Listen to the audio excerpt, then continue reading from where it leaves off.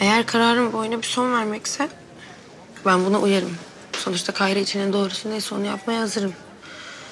Yani o bana daha fazla bağlanmadan Ben de öyle düşündüm. İlk başta. Ama sonra tekrar düşündüm.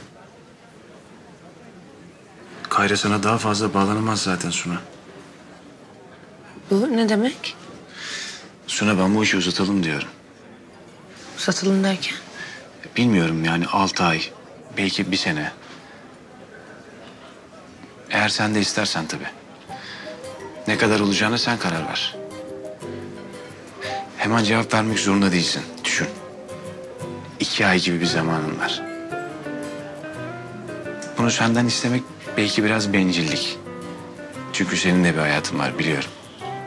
Ben senin bizimle olmanı çok istiyorum.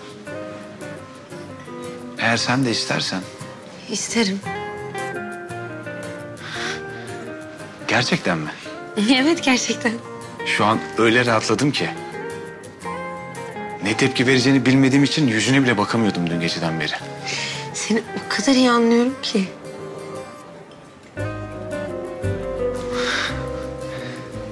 Beni o kadar mutlu ettin ki Suna. Çok teşekkür ederim sana.